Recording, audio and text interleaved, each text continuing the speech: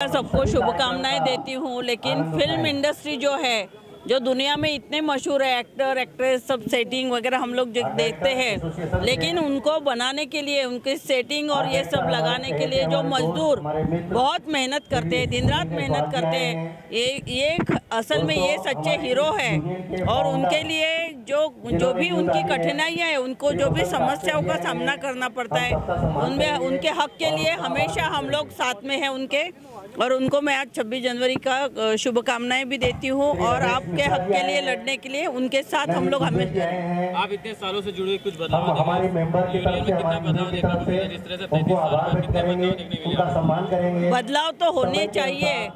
लेकिन इनके बहुत सारे प्रॉब्लम्स है। इनको घर नहीं है।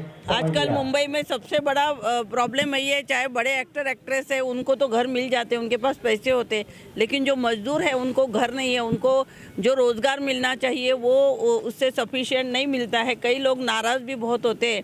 लेकिन उनके कोई भी सवाल हो हम लोग उसके लिए हमेशा आवाज़ उठाएँगे।